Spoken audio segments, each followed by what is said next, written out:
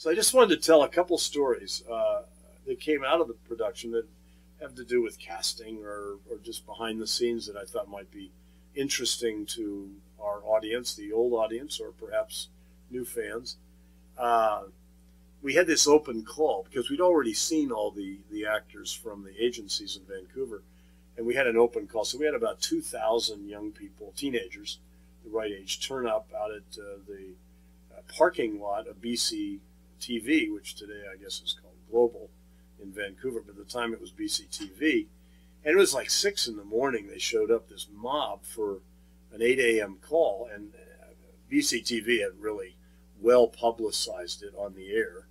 In addition to which, everybody knew it was for casting for a Nickelodeon show for national uh, U.S. television. So the draw was there.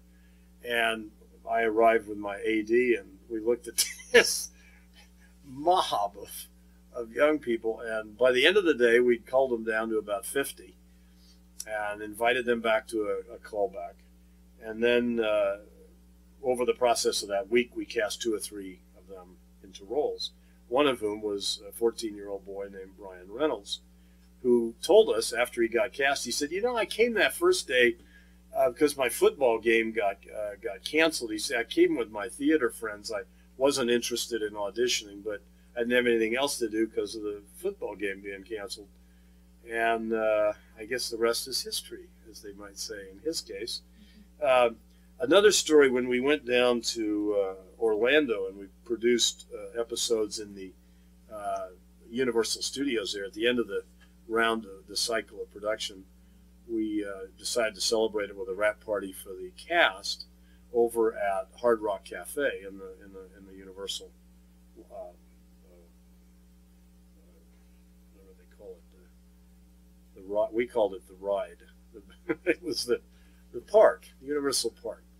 And so, any rate, we had the cast at the Hard Rock Cafe, and they had already, between seasons two and three, just after two seasons, created such a wide audience uh, from little four. I mean, when our cast members would walk into the lot, into into Universal, uh, into the park there, uh, the entertainment area, they were absolutely mobbed by people all ages, from ages four to grandparents, who wanted their pictures taken with the various characters from our show, which they found highly amusing at first, and as it became more and more uh, commonplace to them, they found it a little less amusing, and they used to go in uh, incognito. They used to go in disguise with hats and glasses, and so when they wanted to go over to the park and just hang out.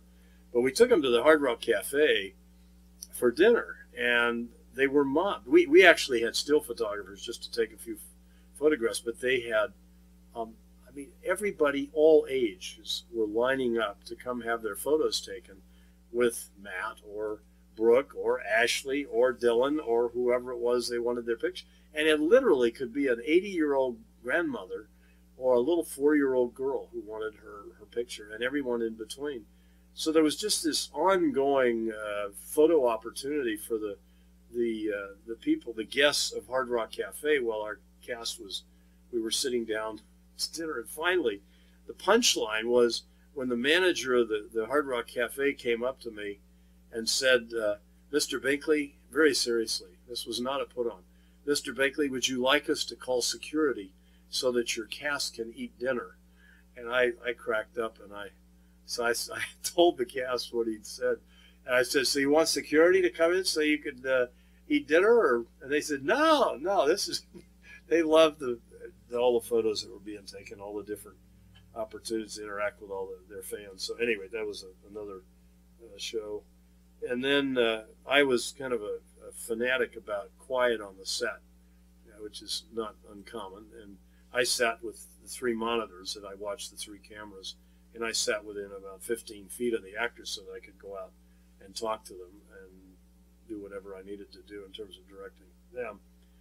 And if I heard people whispering, talking on the set. It always worried me and bugged me because uh, I thought it could contaminate the sound we were collecting in a live shot when we were on. So we were shooting, and the actors were performing and giving their lines, and I started hearing this, bu- you know, some talking, talking, talking, And I sort of whispered, "Could we have quiet on the set, please?" And I kind of raised my voice, kept on. I'm just looking at the three monitors, so all I'm seeing is the single shot, the two shot, the wide shot, whatever. And finally, someone shouted, and they said, "John, the set is on fire." and I, I looked around beyond the three monitors, and sure enough, something had set off a fire. There was this big flame running up some curtain, and a big piece of the set, which I couldn't see on the monitors, was on fire. So everybody loved that. I was so fixed, fixated to the to the monitors that I didn't realize the set was on fire. And another time, I found, um, you know, we started shooting at about 8:30, so the prep was around eight in the morning, and I was in a few minutes ahead, eight. And I, I saw Laura Harris, uh, played Ashley, uh, over behind the set, so where the sandbags are holding the set up, in the dark, you know, against the cement wall, looking very distraught, looking really like she was having a hard time. And I walked up her and I said, "Are you okay?" She was only she there at the time. There wasn't anybody else around, and she said, "Yeah, I'm okay." And I, I looked at her and she just looked bad. And I said, Is something going on? Is there something? She said, John, I'm trying to prepare for the scene that I have where Ashley has to have this nervous breakdown. And I, I said, Oh, that's incredible. I love it. She was actually preparing for a scene that was about to be shot about three hours later. So it was scheduled probably around 11 a.m. and it was 8 a.m. And she was back there at age 15 uh, preparing for this scene, which I tell because it's such a such a, a, great example of how these young actors were were so serious about their work and so professional even at that age. And of course, she had been doing voiceovers for Disney since she was about age four. So she was a pro, but it just I just wanted to tell that little testimonial because it testifies to her her professionalism. Of course, she's gone on to have a brilliant career, which is wonderful. And um, last, I guess, is just a, a, funny story, which I'll make anonymous. Uh, I'll, I'll, tell, protecting the anonymity of the of the of the actor. But one of our cast members uh, in Ottawa, when we moved the show to Ottawa to shoot the second season there, the uh, the cast members were housed in a, uh, a high rise, and one of the boys uh, one day, hung off a 17th floor uh, balcony uh, on a $10 bet.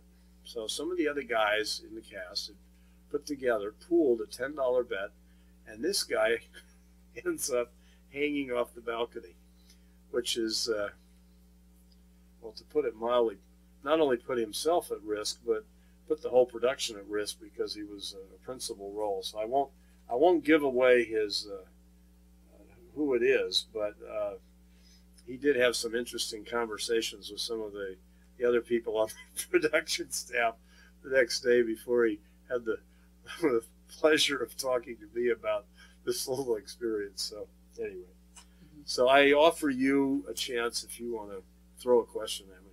So um, 15 away in broadcast history, they made uh, history in many ways rating in terms of being first of its kind.